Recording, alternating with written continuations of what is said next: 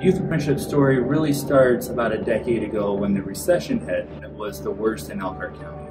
Devastating um, unemployment rates and real difficulty of knowing how to move forward as a county. Brookings uh, did an analysis and we were rated as having the highest per capita robots in the United States. It was determined that we are highly susceptible to uh, disruption by automation in our manufacturing sector. And we don't have enough bandwidth in our uh, student population to be able to automate our uh, manufacturers quickly. Obama came to our community for all the wrong reasons to find out how this community can rise up out of the ashes of the recession. Leaders came together and said, we'll focus on the one thing of education. We brought together our Economic Development Corporation, our chambers, our WorkOne board, and all of our school leaders to listen to our industry leaders. We were tasked with business retention and expansion, so obviously after enduring the recession, that was a challenge. We brought the industry leaders to the center of the circle. We gave them the floor to talk for most of the time about what do they need?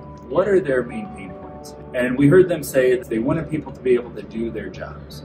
We'll probably never be able to import the level of talent that we need in the IT space due to the wage structures that we have, so we have to create those uh, capabilities locally. If we upskill our workforce, it'll slow the employee churn that we've got going on. So that was really the launch of a competency-based program. We knew that we needed to move this into the high school space as well. After the recession, we started to partner with Horizon Educational Alliance on initiatives that they had relating to youth. We entered into a partnership with CareerWise to help launch youth apprenticeships. Our 12 apprentices that we have today are in three different occupations. We have manufacturing technician, we have computer technician, and we have project coordinator. This creates a whole new pipeline uh, for talent in our organizations that are really starving for. The next opportunity is to expand to additional occupations to reach more industry partners and to have as many as 100 job postings. We're excited to scale it and start to help our manufacturing and uh, industrial base.